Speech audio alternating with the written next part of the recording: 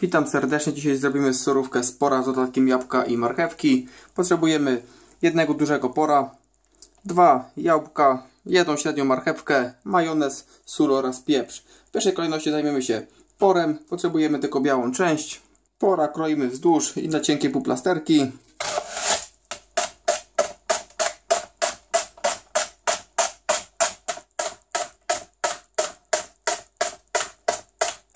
Przekładamy do miseczki.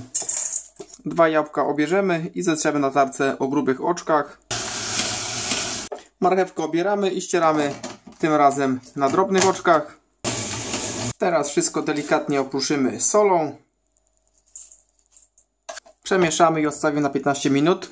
Dołożymy 2-3 łyżki majonezu, w zależności ile nam surówki wyszło.